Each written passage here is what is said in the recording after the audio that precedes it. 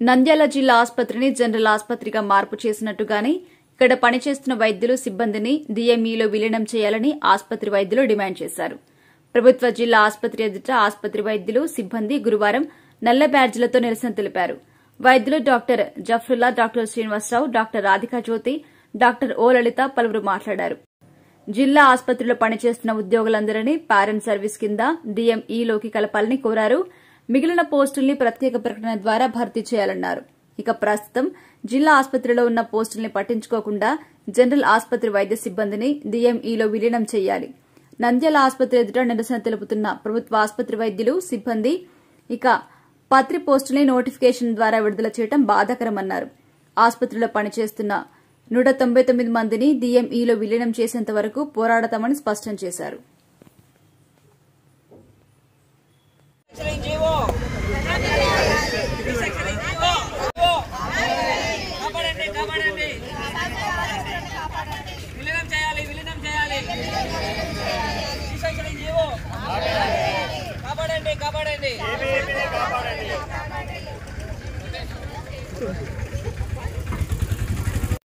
CAS పోస్టులో. ఐదు వందల యాభై పోస్టులు ఉన్నదని రెండు వందల డెబ్బై ఐదు కుదించారు. సో రెండు వందల డెబ్బై మంది ఉద్యోగాలు చేరరు గైనకాలజిస్టులు. ఉన్న రెండు వందల డెబ్బై ఐదు మందితోనే వర్క్ చేయించాలంటే చాలా కష్టం అవుతుంది ప్లస్ సివిల్ సర్జన్ ప్రమోషన్స్ కూడా ఒక ఎనిమిది తగ్గించారు. డీసీఎస్ ఒక ఆరు పెంచినా కూడా దానివల్ల పెద్ద ఉపయోగం అయితే ఉండదు. సిఏఎస్ పోస్టులు తగ్గించకూడదు. ఇంకా ఎంసీఎస్లో ఇంకా కొంచెం పెంచాల్సి కూడా తగ్గించారు. తగ్గిస్తే మెయిన్ మెటర్నిటీ వరకే ఎక్కువ ఉంటుంది. తర్వాత పీడియాట్రిక్ వర్క్ ఉంటుంది. సో గైనకాలజిస్ట్ని తగ్గిస్తే చాలా కష్టం అవుతుంది ప్లస్ మాకు ఇక్కడ ఉన్న వాళ్ళని మాకు ఈ డిఎంఈలో ఇక్కడే అబ్జర్వ్ చేస్తే మాకు అడ్వాంటేజ్ ఉంటుంది. గౌరవ ముఖ్యమంత్రి గారు కొత్త విధానం అంటే హాస్పిటల్స్ అన్ని హెల్త్ సిస్టమ్ను బాగా అప్గ్రేడ్ చేయాలి అనే విధానంలో చాలా మార్పులు తీసుకొచ్చారు. అలాగే చాలా పోస్టులు మంజూరు చేశారు ఫ్యూ చేశారు. అది ఒక సంతోషకరమైన విషయము. అది తప్పుపడడం లేదు. కానీ ఈ రీస్ట్రక్చరింగ్ విధానంలో కొన్ని అంటే చిన్న మార్పులు చేసి అవి మళ్ళీ అమెండ్మెంట్ చేసి అంటే అందరికీ సముఖంగా ఉండే విధానంగా చేయాలని మేము కోరుకుంటున్నాము.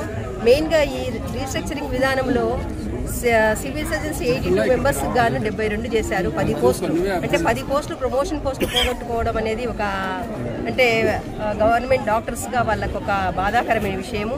నెక్స్ట్ వచ్చేసి సిఏఎస్ పోస్టులు రెండు వందల యాభై నాలుగు కాను నూట యాభై మూడు చేశారు. అంటే పని చేసే వాళ్ళే సిఏఎస్ ప్రతి ఒక్కరూ అంటే ఏ హాస్పిటల్ అయినా రన్ కావాలంటే ఫస్ట్ నెంబర్ వన్ సిఏఎస్ ఉండాలి. ఉంటేనే పని జరుగుతుంది.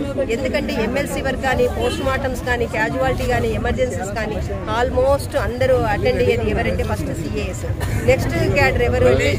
Next civil service specialist.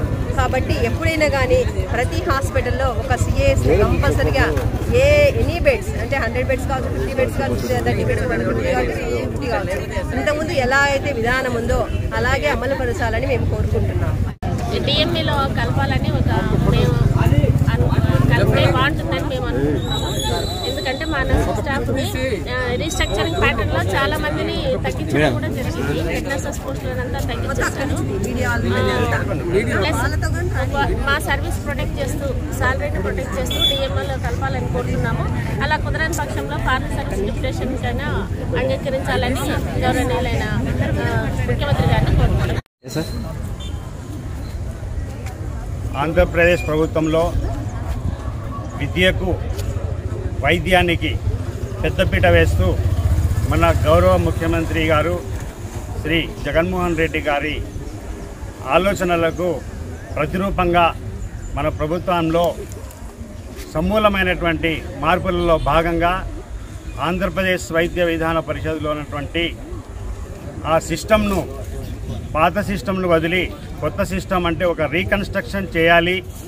దీంట్లో ముప్పై పడకల ఆసుపత్రులు అయితేనేమి యాభై పడకల ఆసుపత్రులు అయితేనేమి వంద పడకలు నూట యాభై పడకలు రెండు వందలు మూడు వందలు మూడు వందల యాభై నాలుగు వందలు నాలుగు వందల యాభై పడకలు ఏ ఆసుపత్రి తీసుకున్నా కూడా మొత్తం రాష్ట్రమంతా ఒకే విధమైనటువంటి స్టాఫ్ ప్యాటర్న్ కావాలనేటువంటి మంచి ఉద్దేశంతో ఈ యొక్క నిర్ణయానికి వచ్చి మన వద్ద ఉన్నటువంటి వైద్యులను వివిధ పోస్టులను కుదించి ఎక్కడ ఏది అవసరం ఉంది ఎక్కడ అవసరం తక్కువ ఉంది అనేటువంటి నిర్ణయాన్ని తీసుకొని ఒక రకమైనటువంటి రూపకల్పన చేసి దాన్ని ప్రభుత్వానికి మన అధికారులు సబ్మిట్ చేయడం అయినది.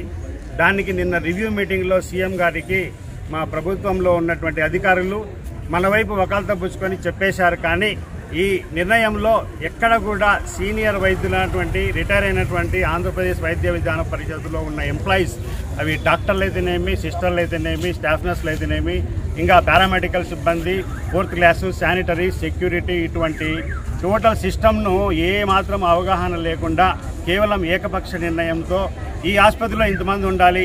ఏ ఊరికి వెళ్ళినా కూడా ముప్పై పడకల ఆసుపత్రిలో ఇటువంటి డాక్టర్లు ఉంటారు ఇంతమంది సిస్టర్లు ఉంటారు ఇంతమంది పారామెడికల్ సిబ్బంది ఉంటారు అనేటువంటి సమూలమైనటువంటి ఒక రూపకల్పన చేసి దాని ప్రకారంగా ఇది నిర్ణయించడం జరిగింది ఈ పోస్టులు. కానీ ఇది అవగాహన రాహిత్యంతో జరిగినటువంటి విధానం. దీంట్లో డాక్టర్లు అయితేనే ఆరు మంది డాక్టర్లు ఆ ప- ఎనిమిది మంది డాక్టర్లు అని ఒక టేబుల్ లాగా ఇచ్చారు నిన్న. గౌరవ ఆరోగ్య శాఖ మినిస్టర్ గారితో సంప్రదించి వాళ్ళు వేసినటువంటిగా ఒక సిస్టమ్ను క్రియేట్ చేసి మనకు మీడియాలో వస్తూ ఉంది.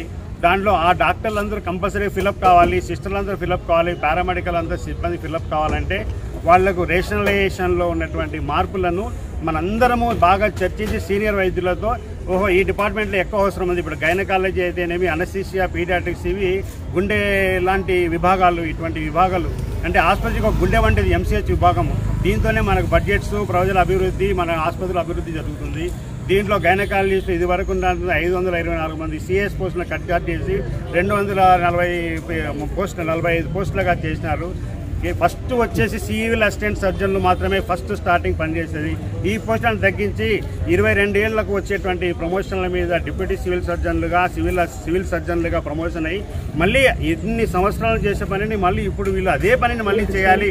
కింద ఉన్నటువంటి సిఎస్ పోస్టులను తగ్గించడం వల్ల దానివల్ల ఉపయోగం ఏందనేది అవగాహన రాహిత్యంతో చేసినారు. నేనైతే సివిల్ సర్జన్ ఆర్థోపెడిక్స్ నాకు అయితే నా డిపార్ట్మెంట్లో ముప్పై ఆరు మంది సివిల్ సర్జన్లు పోస్టులు ఉంటే కొత్త స్ట్రక్చర్ విధానం వల్ల ఏడు మంది పోస్టులకు ఇస్తే మిగతా ఇరవై తొమ్మిది మంది గాలిలో ఉన్నారు. ఈ ఇరవై తొమ్మిది మందిని డిప్యూటీ సివిల్ సర్జన్లో పెట్టి వాళ్ళని అప్గ్రేడ్ చేసి సివిల్ సర్జన్లుగా ప్రమోషన్ ఇస్తామంటున్నారు. కానీ దీంట్లో ఈ డిప్యూటీ సివిల్ సర్జన్ పోస్టులు మేము రిటైర్ అయిన తర్వాత మళ్ళీ డిప్యూటీ సివిల్ సర్జన్గానే వస్తాయి. కానీ కింద ఉన్నటువంటి సివిల్ అసిస్టెంట్ సర్జన్లు ఎన్నటికీ వాళ్ళకి ఇంకా ప్రమోషన్లు అనేటువంటిది వాళ్ళ కలగానే మిగిలిపోతుంది.